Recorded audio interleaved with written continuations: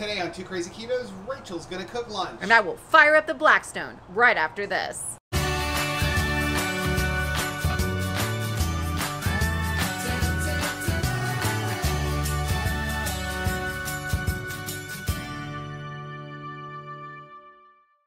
Hey, what's up, family? I'm Rachel. And I'm Joe. And we are Two, Crazy, Ketos. If you're new to our channel, welcome. Here on Two Crazy Ketos, we do different things like product reviews, we do recipe videos, we talk about various keto topics, and then every Monday, we sit down on the couch for Keto on the Couch. We just kind of talk about what's going on in our lives for the week. You can find us in different social media platforms like Facebook, Instagram, and Twitter. And we have a website, which is twocrazyketos.com. That's where you're going to find all of our different recipes.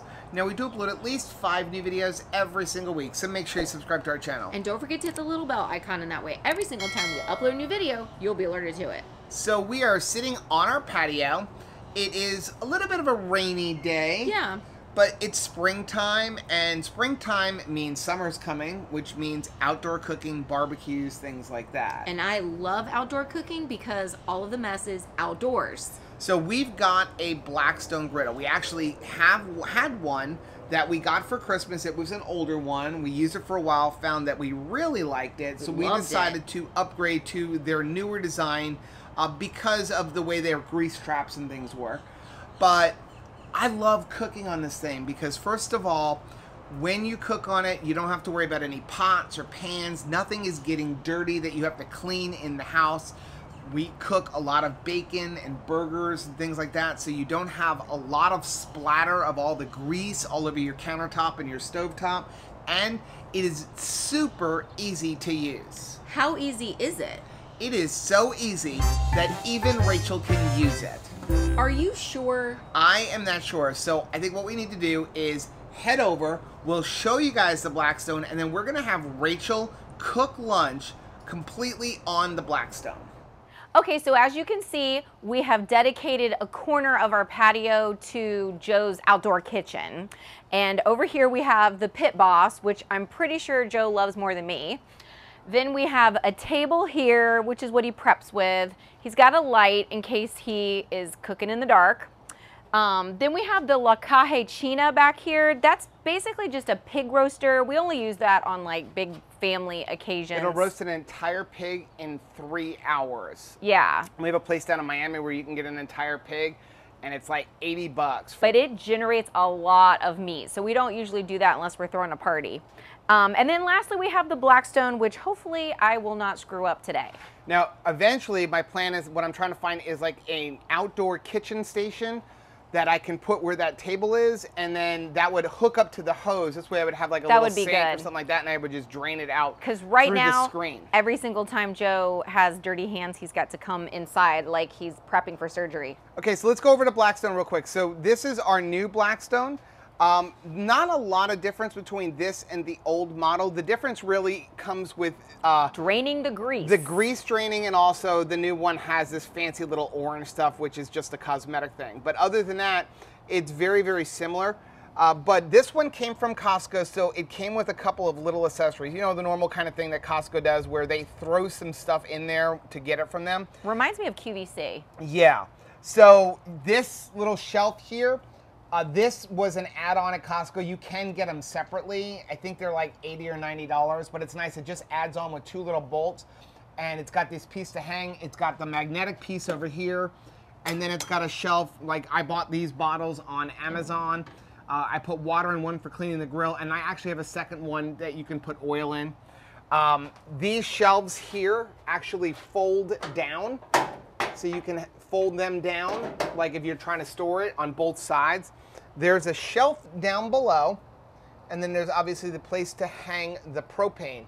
Now the difference between this one and the other one was the, the first one, the grease channel came here and it went into a cup on the side over there. And then what would happen is the grease was actually going down the leg. And you can see down on our like patio there that it uh, Left some grease stains. left some grease stains. So the new one here, the grease drains around the back. So you can see there's a little opening in the back on the griddle and it just comes out there so you can keep pushing. Also, the Costco version came with this nice cover, which we like better than the vinyl covers, especially Yeah. because we use it every day. The vinyl covers, you gotta wait for it to cool down. And it like cooks. And yeah, so I like that because it does hook on the back and you can actually like flatten it up a little bit more. And that does two things. Number one, it's gonna prevent like the wind if you're doing a lot of cooking. You don't have to worry about wind hitting it. It's also like a little bit of a grease splatter.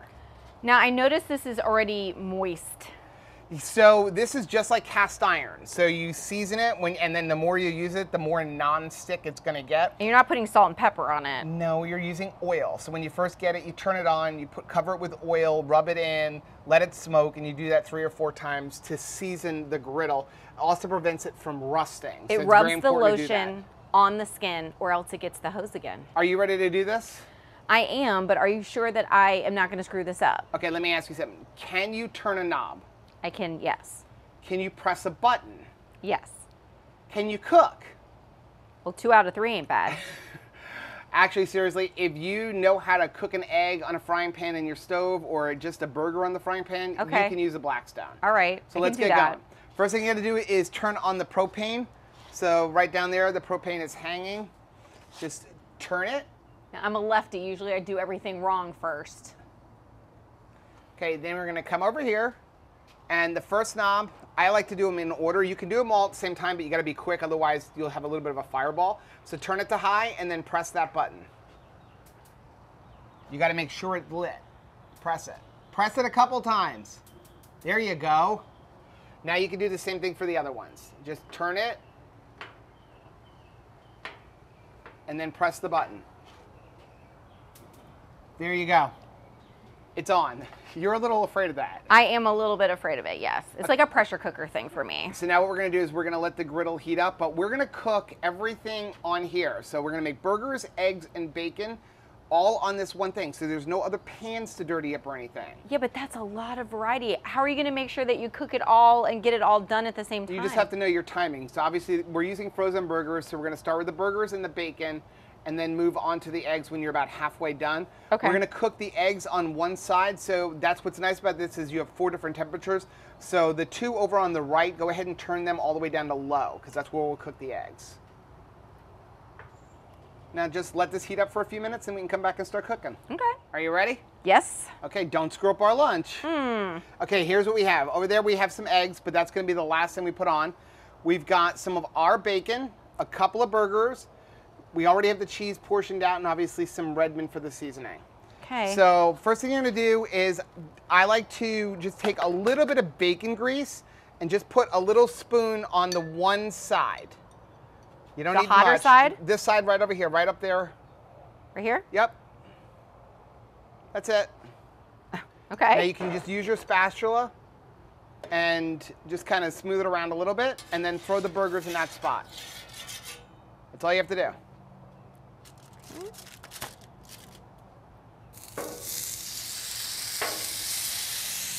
Okay, so we're gonna let the burgers go for about three or four minutes before you flip them.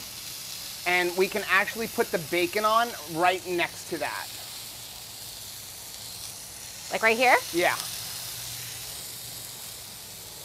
I'm so glad we got the slicer because this is like thinner but perfect.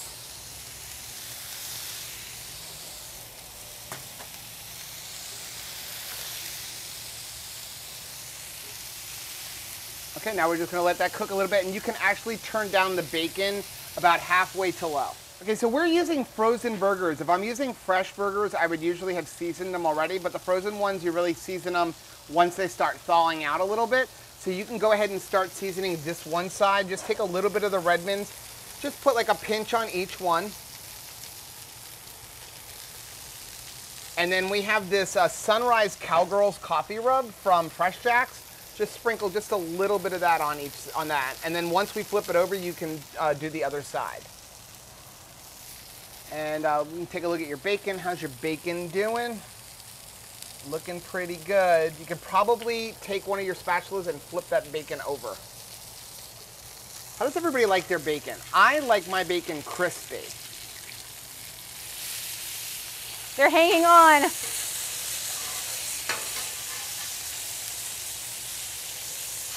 I like my bacon crispy.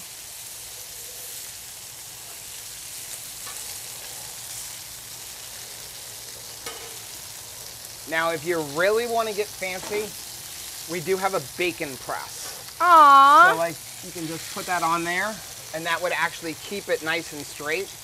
I don't use it very often because all it Does does go is really way? make more things for me to clean. Everybody lay down and go to bed. Okay, you ready? Yes. We can start with our eggs and then we're gonna flip our burgers. And over on the cooler side, you're gonna crack three eggs and keep them kind of together. I put them in a line.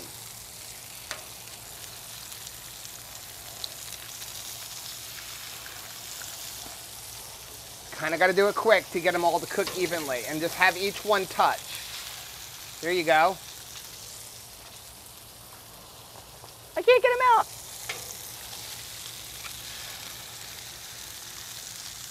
Now you can use your spatula and stop it from spreading if you want.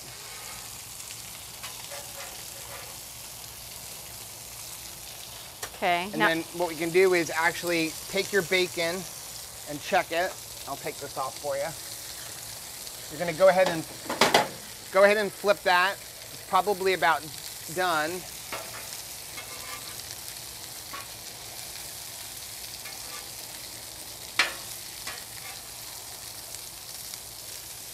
Now what I would do is just kind of move it down to the front corner away from where the eggs are, the other front corner. There you go.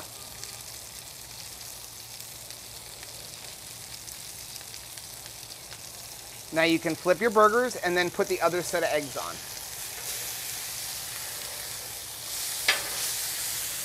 Now put the other eggs right up where that, about where that bacon was. You broke it. Sorry. That'll you be put it a little close to that grease trap. Ah!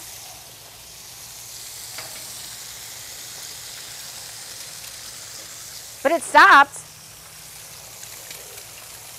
Okay, now Rachel likes her eggs, the yolks to be completely cooked. So what we're gonna do is we're gonna take that dome over there and put it over that set of eggs right there. This one? And that's gonna allow the steam to cook the top and you won't even have to flip them. I'm gonna put a little bit of And seasoning. now you can season your burgers. I feel like a short order cook. Now you see how those juices are coming through? That tells you that they're cooking pretty well. Oh, this and thing in the middle? you only got a couple of minutes left on cooking those. You can actually turn that down because it's going to retain some heat. So you can turn that actually off if you want. We'll let that go for a minute or two and then we'll put some cheese on the burgers and let it melt. While we're waiting for it to cook, I did want to mention this stuff. You want to hold that up, Rachel? Sure. I will leave a link for this down below. You can get, I found it on QVC, but you can get it on Amazon. This stuff is awesome. This is the best degreaser. You can use it in your oven, you can use it on your countertops, and it works awesome outside, and it's super concentrated. So I got those bottles. You can use regular bottles, but you can buy it by the gallon. It's like $40 for a gallon of it, but it's like one ounce per bottle. I like that it, it's, it says that the uses are buses and subways. It works really well. It'll take the grease off of anything. It's one of the best cleaners I've ever seen. And airplanes. Are you ready? Yes. Okay. Go ahead and we're gonna flip over your burger.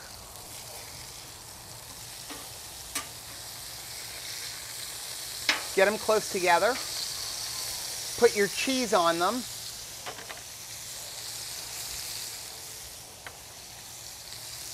And then put the other dome over the burgers. Ooh, fancy. Now, let's check your eggs.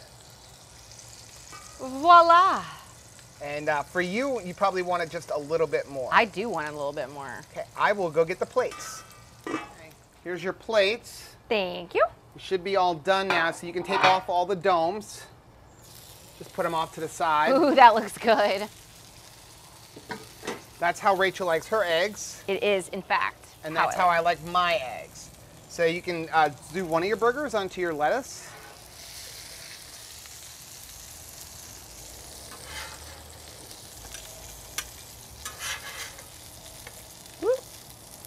Just use one, use the spatula all at once. I don't want to throw it. Oh my goodness. Wouldn't that have been funny if I like threw it in there? Okay. There's Joe's.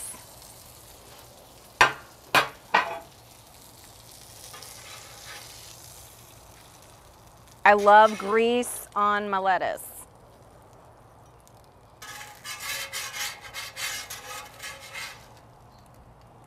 Now, Again, Bam. you saw we put no oil or anything on there. And this is a newer uh, Blackstone, so it's not seasoned as well as like one you've had for a while. Are you ready to turn off all your things? Turn them all off. And now you're gonna learn how to clean it. Ah. So you're gonna take that little spatula that's right there, yep. And just very carefully so you don't splatter, just kind of push everything down towards the middle. Oh, this really does look like one of those hibachi, like when we would go to like Benihana or something. Okay, so now that you got that, you can wait a little while, but we're gonna clean the top real quick because I'm gonna show you how easy this is. Okay. So take your take some paper towels, like a few paper towels, and fold it up.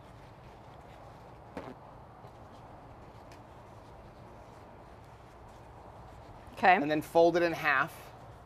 Now I usually will wear the glove, but we're just, this is water right here. Okay. Okay, so what we're gonna do is just, look at this here, quick. Now just use that and kind of rub, clean it off a little bit. Oh my gosh. It's just coming right off. Yep, and we're, you're gonna do one piece at a time. Yeah, let me use the tongs because I feel like I'm gonna burn my hands. Oh yeah, that's way easier. You just get that corner right over there. Down the thing. And guess what? I cleaned? Your griddle is clean. Oh my goodness. No pots, no pans.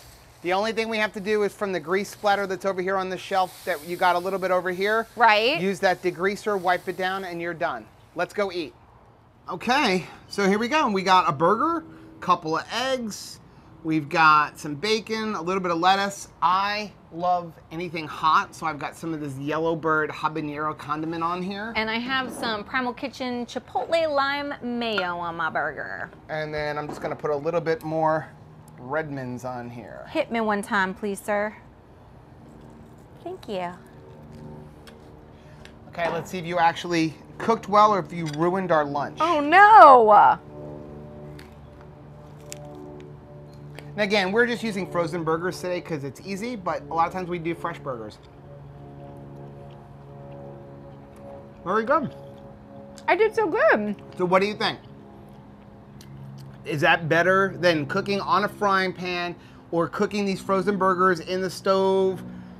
It didn't heat up my house. Yep, Didn't dirty a bunch of pans. yep. I didn't blow my face off. It cleaned up really easy because I don't want it to be disgusting next time. Mm-hmm. Yeah.